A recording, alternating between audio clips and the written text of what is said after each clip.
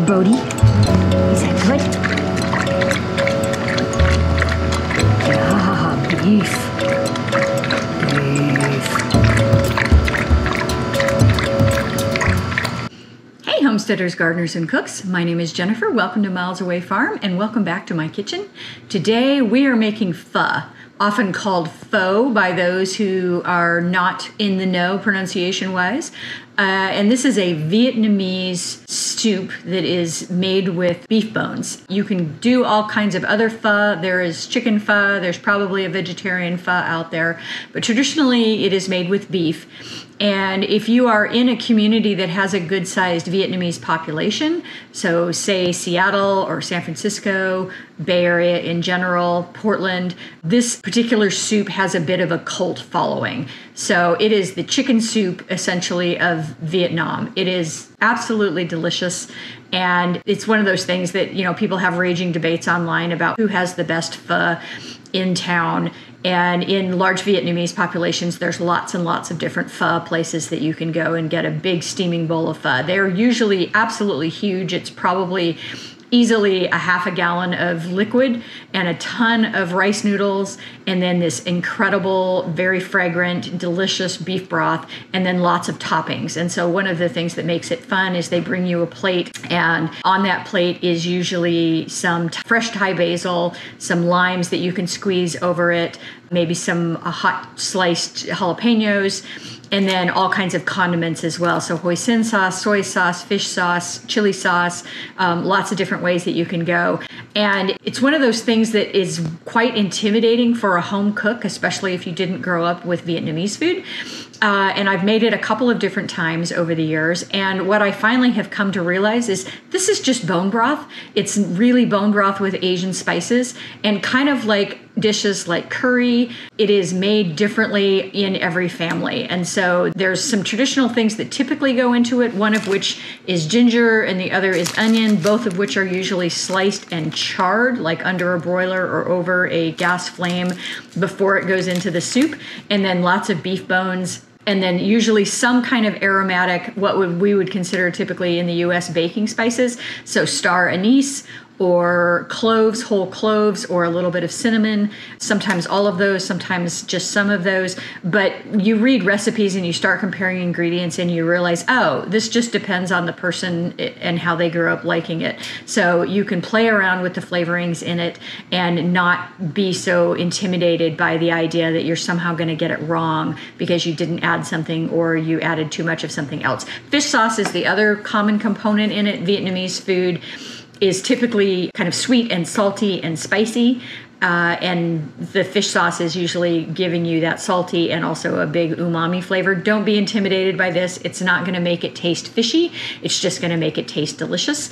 Um, Red Boat brand is a good brand of fish sauce. Three Crabs is another common good brand of fish sauce. If you're in a small town in a rural place, you might not have any choice if the Asian section of your grocery store it likely just has one kind of fish sauce. Buy that, it's okay. But if you're ever in a big city with a big Asian grocery store, it's so fun to go in because it's like taking a trip to another land without ever leaving the country. And they will have an entire row of different kinds of fish sauces, and that's super fun. But what we're gonna do is first, we're gonna take lots of beef bones. I bought a quarter of a beef a little over a year ago, year and a half ago. And so I've got beef soup bones here. I've got just big beef bones. These are mostly marrow and not a whole lot of meat on them. So I've got a couple of stacks of those. And then I was just rooting around in my freezer looking for other things. I also have beef rib steaks. I've never eaten these. I don't really know what you typically do with them, but I thought it would be a really nice addition to this broth. Typical recipes for this are very heavy in terms of the beef. So it's usually several pounds of bones and then several additional pounds of some kind of chuck roast or some kind of beef meat.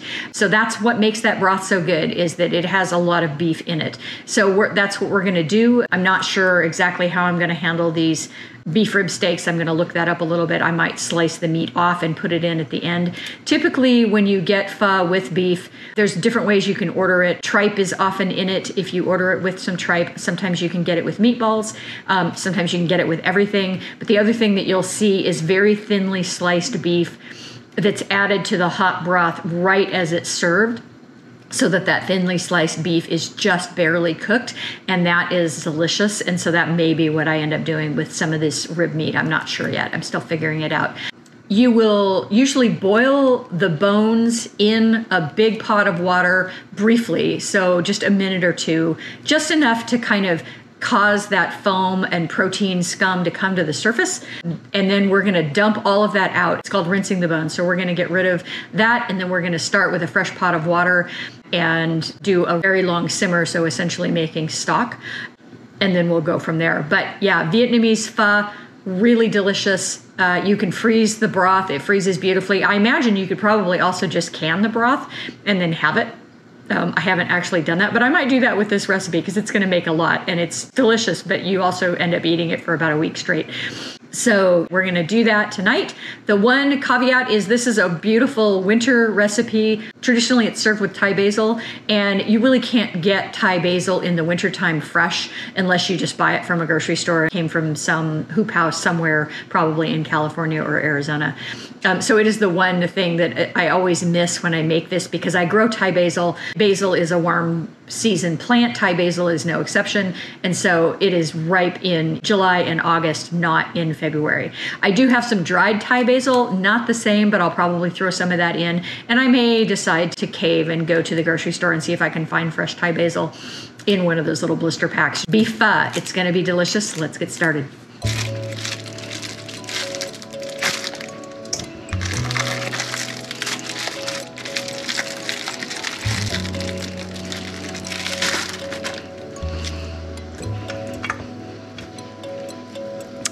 You can see how much meat is on these versus the bone on these soup bones. Really lovely.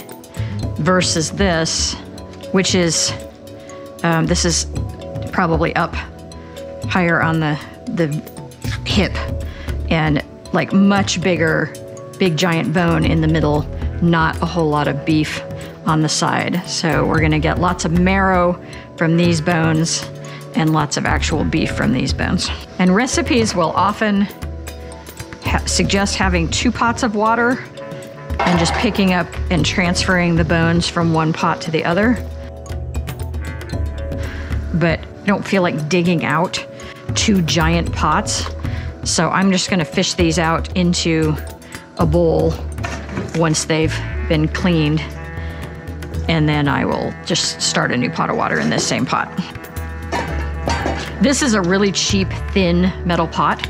I would not normally cook in this except for something that was mostly water because um, it has a very thin bottom and it will burn if I were to try to do this with something that was thicker. But my Dutch ovens are not quite big enough for this recipe. And this meat was still partially frozen, so it's gonna take a minute to bring this back up to a boil.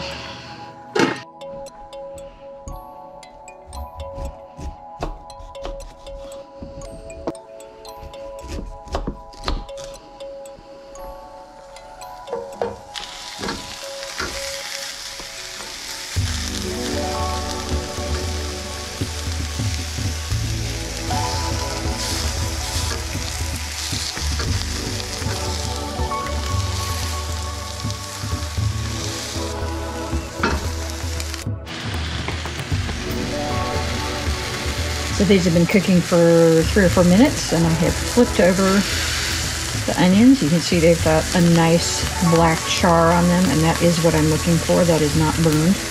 And then on the ginger, it's a little trickier. They're a lot drier, but I'm starting to get some good char on there as well.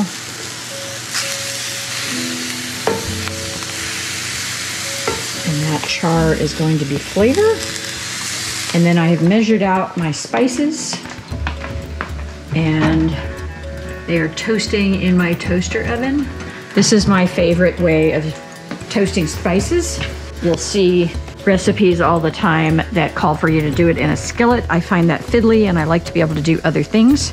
And so I will often just use a toaster oven instead. I think these are probably close to done here. And this is two whole yellow onions.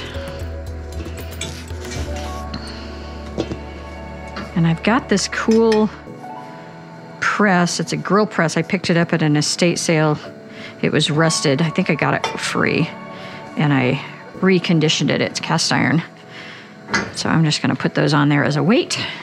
I rarely use this. I love it. I think it's just beautiful and I love how it came out. But um, yeah, I don't get to use it very often, so I'm kind of excited to use this as a press. So we'll give this a minute or two more.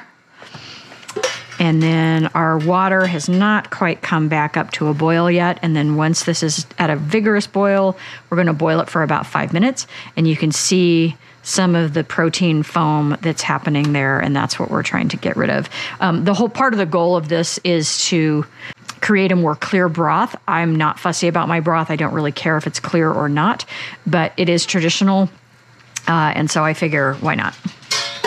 All right, I'm going to call this done turn my heat off here. You can see I've got some nice charring on this ginger. Beautiful. And then I could hear my spices starting to pop. The uh, peppercorns were starting to pop. You can see the color on that um, clove. And so I think these are done. We are at a full rolling boil. I'm going to give that five minutes and then we'll pull the bones. So it's been five minutes. See what we can do here to get these out of here. And I will probably just throw this in a plastic bowl out on the back porch because the dogs will drink it for sure. So I don't need to just put that down the drain.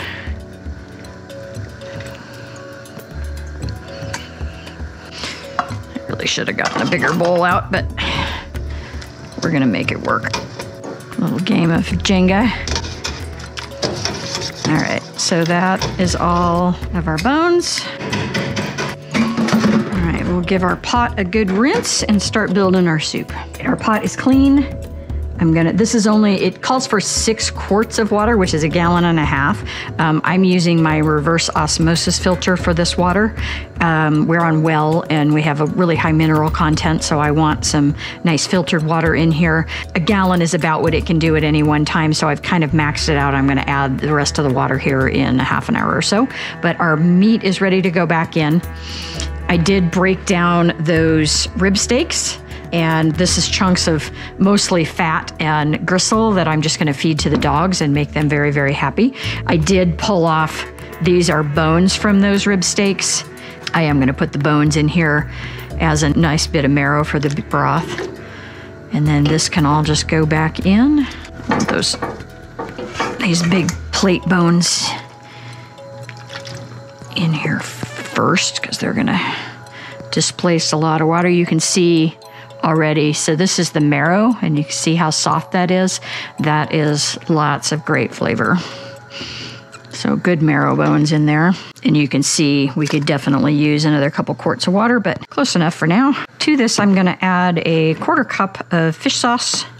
So I'm gonna finish off this Three Crabs brand that I've had for quite some time.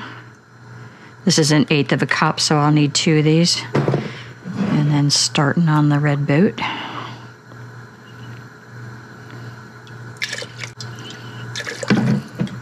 Curious if there's a sell by date on this. I've had this a very long time.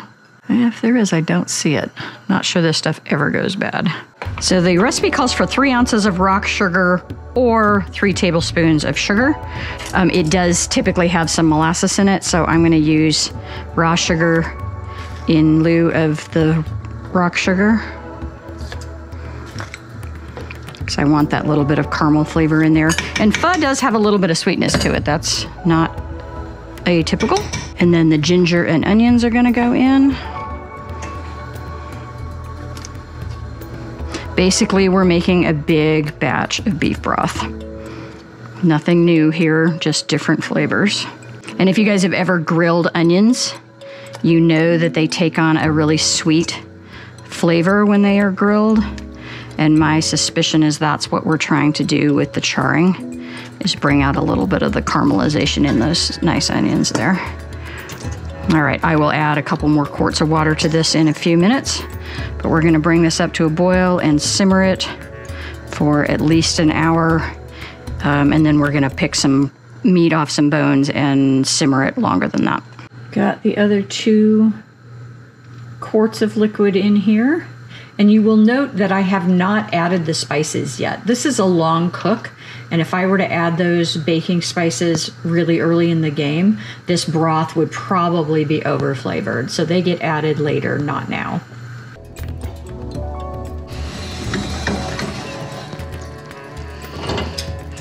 So this has been simmering for an hour.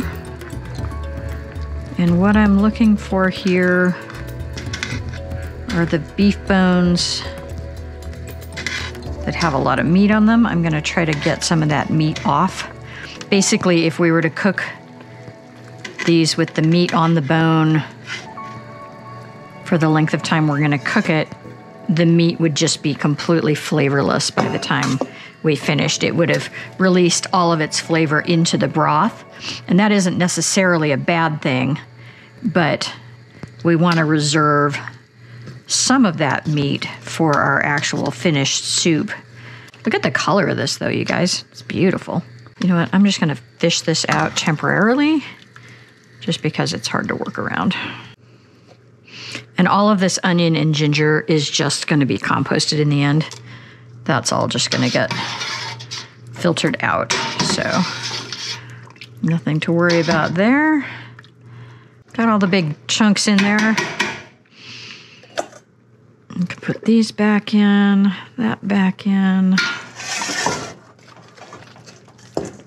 These two back in. And I imagine there's a way to do this in an instant pot that would probably be pretty effective, but I don't know. I'm home today. I kind of like having something slow simmering on the back of the stove. It's sort of lovely. Let's see if I can get this middle bone out of here quickly. Everything's pretty hot. Oops.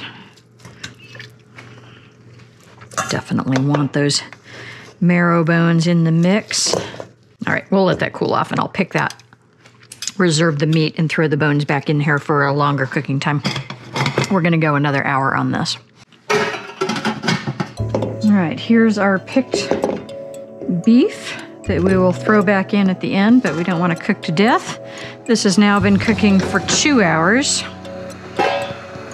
Excuse the noise, I got my teapot going over there. And the instructions that I have in one of the recipes calls for putting the spices in a spice bag, but I know I'm just gonna filter all of this anyway, so I'm just gonna throw them into the pot. So I'm gonna give this another half an hour.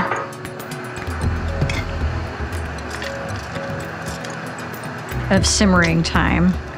And then we will filter and have our broth ready for the regular soup. So total cooking time, about two and a half hours. Nope, go lay down. You just got all kinds of treats. Go lay down.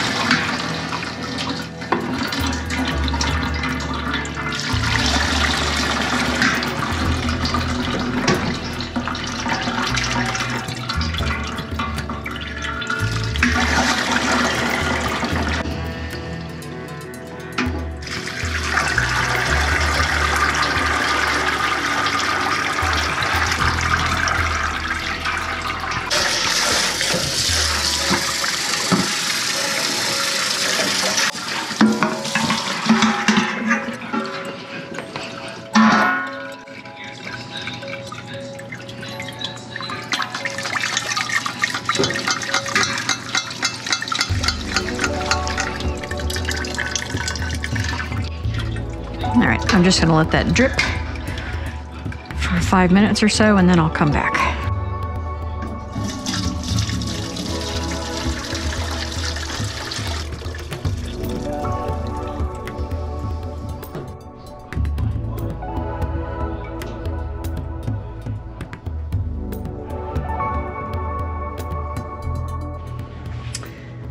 So here is our beautiful pho broth the next day. And you can see how jellied that is. That's a good indication that we got a lot of the connective tissue off of those bones. And all of the beef uh, fat has congealed at the top. And so I'm just going to fish that out. And then we'll be ready to start making our soup. It's a good looking stock. All right, guys, it is a couple of days later. We had a couple of events that required us to eat out. And so it's now Sunday night, but I thought it'd be a great night to have some pho for dinner. You can see how thick and jelly like this is. That is a really good indication that we managed to extract a lot of that connective tissue and collagen from our bones, which is great. I kept half of this for myself, and I have a friend who's having some issues where she's having a hard time cooking right now, and so dropped off the other half of this beautiful broth at her house. So hopefully she'll get a couple of nice meals out of this. So I'm just going to start heating this up to a boil, and I'm also going to get our rice noodles prepped. All right, we are going to soak some rice noodles for this. And you can use whatever kind of noodles you want. Traditional would be some kind of rice noodle when they're thin, like these are. This is called a vermicelli rice noodle, but you can also get the wider ones that are typically more typical of pad thai. Um, or you can just use whatever kind of noodles you've got. You could use ramen noodles, you could use, you know, spaghetti. Um, the, I promise you, the pho police are not going to come to your house and yell at you if you substitute a different kind of noodle in this. Um, but with rice noodles, you generally soak them for a half an hour or so. And that just rehydrates them and loosens them up a little bit. And then you boil them for just a couple of minutes, maybe three or four. Um, best thing to do is to follow the directions that are actually on the package uh, because they will vary a little bit depending on the particular brand but I'm going to just let these soak. Um, as a general rule, two ounces is a serving size with any kind of pasta. And so I like to weigh it out just so that I'm not um, eating my body weight in noodles, which can be fun, but also not also great for the waistline. So we're going to let these soak. I'm going to get some other ingredients that are going to go into our toppings prepped, and we're going to have pho for dinner. This is some of our raw beef that we have. And what I'm going to do, you can see the grain going this way. I'm going to cut it this way in thin slices, and then we're going to put this on the bottom of the bowl and pour boiling pho broth over this, and that hot broth is going to just very quickly cook this. I'm not going to do a ton of this. I'll probably reserve some of this for another meal, and then I'll probably turn the rest of this into just stir fry meat. I like to slice this kind of thing up and put it in freezer bags with some marinade. And then when we want to have a stir fry, all I have to do is pull the bag out and everything's already marinated. And we're going to do a mix here of both this raw beef and also some of our leftover cooked beef from when we did the bones that we pulled out after about an hour. And the part of the idea and the beauty of pho is to have kind of a mix of textures and flavors. And so there's going to be a big difference in flavor between, you know, a piece of meat like this that's getting cooked just very quickly by the broth and a piece of meat that was cooked for an hour and stewed. And I know when you are in a pho restaurant, you can often order you know, with all the meats. And so you can get it with the meatballs and the tripe and the raw thin sliced beef and the cooked beef or the brisket. So, um, yeah, it's not unusual to do a little bit of everything. I'm just going to clean these up a little bit as I go. That should be enough for two with the other meat that's going to go in there. And the other thing we're going to want here is some really thinly sliced um, onion. And I'm going to do a white onion, ignore the red onion that's here. And this could be, again, whatever kind of onion you have on hand. It doesn't have to be a yellow onion, a white onion, or a red onion would also work just fine. I just, I have a, a purpose for that red onion that's sitting there, so I'm going to use a white one this tonight.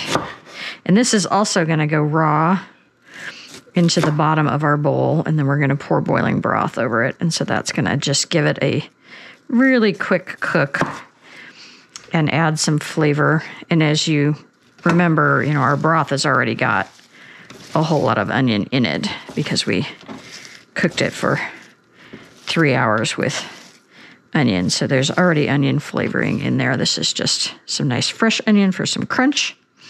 And then I was able to find amazing some Thai basil. And so um, I do have some dried, and that's what I would have used in a pinch. But I've got a little bit of fresh Thai basil with that lovely anise scent. I'm not a huge fan of anise in most things, but it is really, really good in this particular dish. And then here is some of our cooked beef, so that's going to go in there. And then I was also able to find some bean sprouts. These probably could use a rinse. I love these. The problem with them is they really don't last very long. The uh, shelf life on them is very short.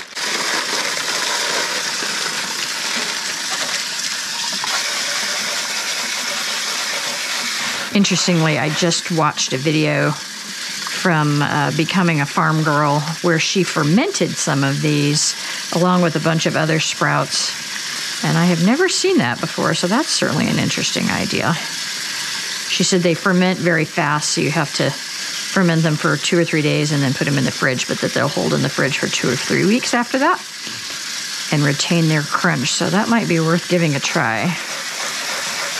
These are in pretty good shape. There's a little bit of wilting on them, but not bad. All right, I'll bring you back when we're ready to assemble. So you can see how much these have rehydrated. They're no longer super stiff. And we're just going to put them in this small bowl of boiling water for two or three minutes until they cook. All right, so we're going to do a little bit of this. A little bit of this. And if you've never had pho, assuming there's a few of you maybe who have never had it before,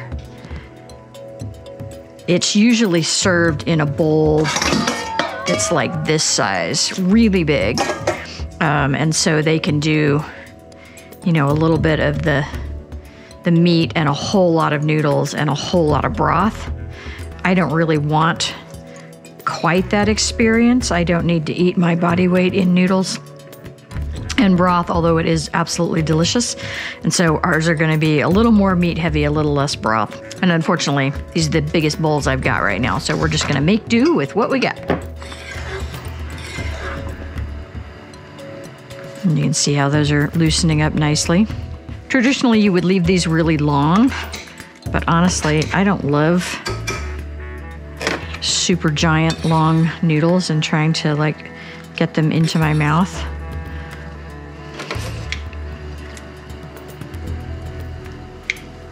So I'm just gonna give some of these a bit of a haircut. And if you overcook these, they will very much turn to mush, so you don't want to overdo it. I think we're about done.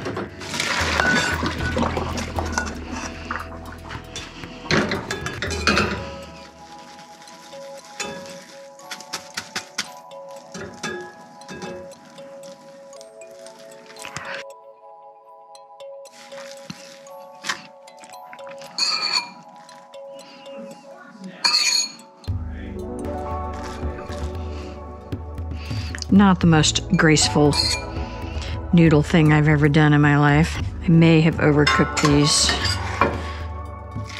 just slightly. Hopefully, they're fine.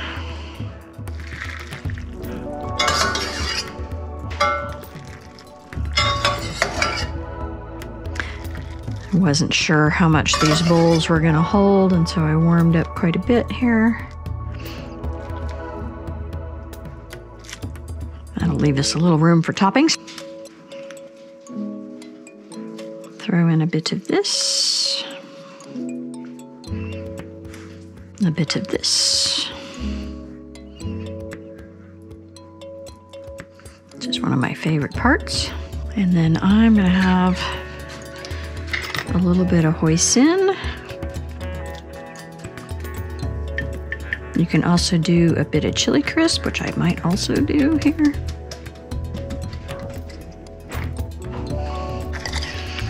Been kind of having a love affair with chili crisp of late.